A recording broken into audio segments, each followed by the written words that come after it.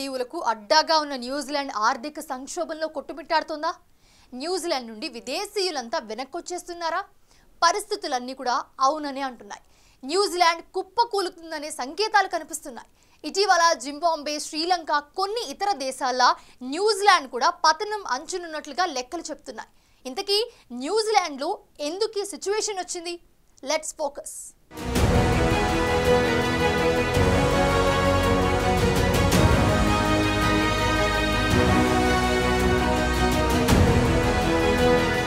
లో న్యూజిలాండ్ విడుదల చేసిన గణాంకాల ప్రకారం జూన్ రెండు వేల ఇరవై నాలుగుతో ముగిసిన ఆర్థిక సంవత్సరంలో లక్ష ముప్పై ఒక్క వేల రెండు వందల మంది న్యూజిలాండ్ను విడిచిపెట్టినట్లు తెలుస్తోంది. ఇందులో ఎనభై వేల రెండు వందల మంది న్యూజిలాండ్ పౌరులు.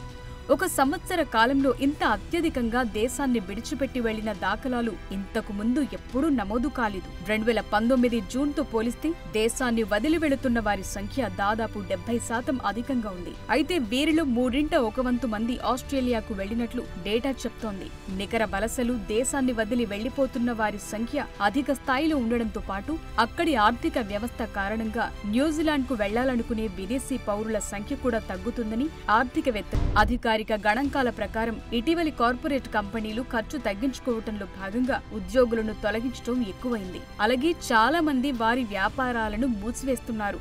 దీని కారణంగా రెండు వేల ఇరవై నాలుగు జనవరి జూన్ మధ్య దేశ జనాభాలో ఒకటి పాయింట్ ఐదు శాతం మంది వెళ్ళిపోగా అందులో సున్నా పాయింట్ ఆరు శాతం భారతీయులున్నారు. ఈ సంఖ్య నానాటికి పెరగొచ్చనే అంచనాలున్నాయి. అక్రెడిటెడ్ ఎంప్లాయర్ వర్క్ వీసాలున్నవారు కూడా అక్కడి పరిస్థితులకు భయపడి తిరిగి భారతదేశానికి వచ్చేస్తున్నారు రెండు మూడు దశాబ్దాల క్రితం వెళ్ళి అక్కడే స్థిరపడాలని నిర్ణయించుకున్న వారి వ్యాపారాలు సరిగ్గా నడవక తీవ్ర ఇబ్బందులను ఎదుర్కొంటున్నారు